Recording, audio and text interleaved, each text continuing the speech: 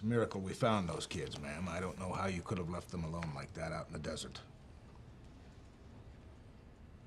How are they, sir? That's none of your business. You know how many kids die every year trying to cross this border?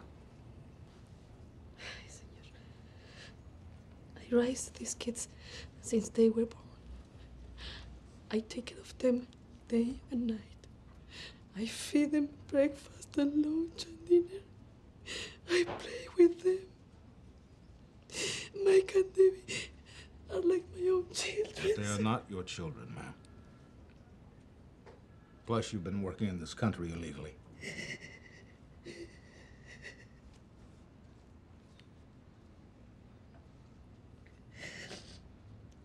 What about my nephew Santiago? I don't have any information on him. We located the father in Morocco. He was very angry, but decided not to press charges. Thank you. Nevertheless, the government of the United States has deemed that you were seriously breaking the law and is determined to immediately and definitively deport you. Sir, I, I've been here for 16 years. I, I have my things here. I rent a house.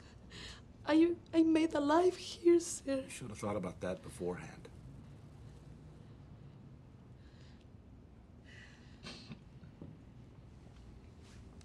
I want to talk to a lawyer. If you attempt to take this to trial, I can assure you, you'll only be prolonging the inevitable. I recommend you accept voluntary deportation.